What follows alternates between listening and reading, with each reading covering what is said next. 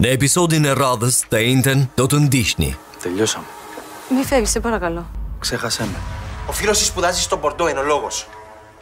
Η Αντιγόνη με ρώτησε αν υπάρχουν δουλειές. Ήθελε να του δώσει το τηλέφωνό μου για να μιλήσουμε. Αν νομίζεις ότι το έφαγα, σε γελάσανε. Δεν πνιγείτε και οι δύο φυλάκες. Το παιδί μου θα μείνει με μένα. Η χαριτωμένη τρελίτσα της Δάφνης έγινε επικίνδυνη. Αλλιώς δεν θα τολμούσε να κάνει αυτό που έκανε. Αν δεν μου γυρίσεις το παιδί πίσω, θα πάρω το δικηγόρο του Διαμαντή και θα του αλλάξω τα φώτα. Κινδυνεύει η αστυνομία να φτάσει στα ίχνη μας. Στα δικά σου ίχνη. Τι ήταν αυτό, απειλή; Τα κάνω τα πάντα να μην φτάσουν σε μένα. Είναι τα χρήματα για την απαγωγή της Μελίνας. Ό,τι έκανα το έκανα για τη Μελίνα. Ναι, όμω η Μελίνα είναι γυναίκα μου και πρέπει να στα επιστρέψω. Για να μην μου έχει καμία υποχρέωση.